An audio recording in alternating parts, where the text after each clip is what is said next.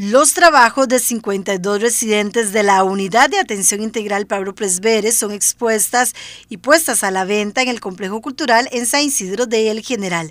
Se trata de artesanías elaboradas por privados de libertad de la UAI del Ministerio de Justicia y Paz. Los precios van desde 5 mil y hasta 20 mil colones según la complejidad de cada uno. Conforme se da la producción en el taller, continuamos trayendo durante esta semana. Hay artesanías de 52 residentes que están en el taller autogestionado de artesanías, entonces hay variedad, ¿verdad?, de, tipos de trabajos, todos en madera. Bueno, Natalia, es que la labor que hacen ellos y esos tipos de exposiciones es precisamente para que puedan ayudar a sus familias.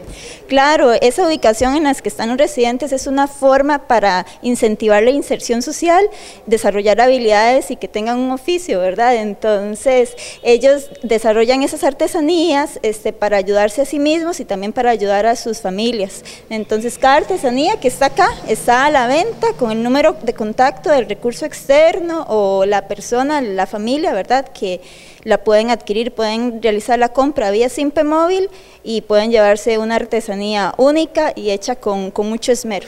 Bueno, Natalia, es importante también más o menos en eh, cómo oscilan los precios para que las personas eh, se acomoden económicamente.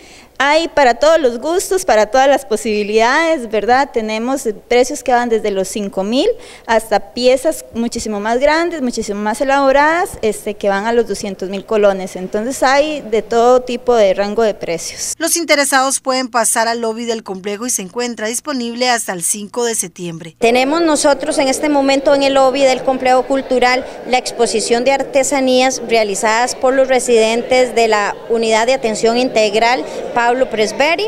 Eh, va a estar expuesta hasta como el 5 de septiembre. El horario que tiene es de lunes a jueves de 3 y media a 7 de la noche abierto al público y los sábados y domingos está de, de 9 de la mañana a 5 de la tarde. Son artesanías muy lindas ah, para que la gente que quiera hacer un regalito, tener un trabajo tan lindo, pueda venir y adquirirlo. Bueno, la forma de adquirirlo es, cada mm, artesanía tiene una ficha técnica, en ella tiene el nombre y el número de teléfono de la persona a la que le realizan el SIMPE, nos autorizan a nosotros la entrega de verdad y se entrega a la persona interesada. Eso lo hacen, ¿verdad? Contactan a la familia del, dueño de la artesanía y se pueden llevar una hermosa artesanía, de verdad que están muy lindas. Esta es una forma de apoyar a las familias de los residentes. La segunda actividad que hacemos con ellos y cada vez que traemos vemos trabajos tan lindos, tan bien hechos, tan hechos con, con delicadeza, digo yo, y, que hay mucho que representa lo que es la flora, fauna.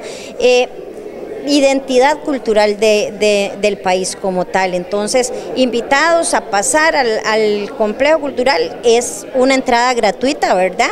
Y de paso apoyar a los residentes de la UAI.